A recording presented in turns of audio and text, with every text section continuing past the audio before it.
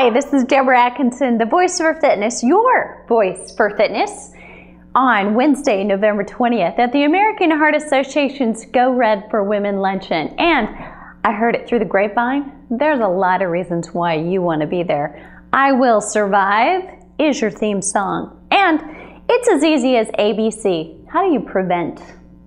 How do you treat? How do you identify signs and symptoms of heart disease in women, especially women like you? We're going to tell you, so don't miss it.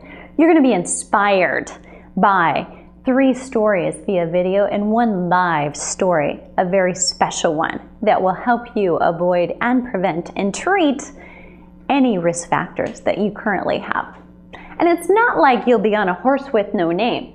You're going to be there with 425 or more of your new best friends using your money to bid on fabulous silent auction items, and shop vendors knock some of that early holiday shopping out of the way with a little retail therapy.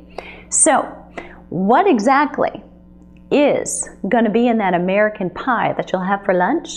Well, thanks to the American Beef Council, you're going to dine on some lean, high quality beef in the form of flank salad. So, does anybody ever really know what time it is?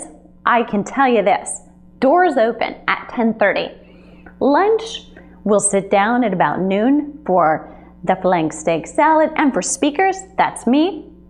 And your boogie shoes are gonna be tapping to the entertaining capabilities of two dynamic dancing duos. That's right, two males are gonna show you their moves and grooves, and you don't wanna miss it.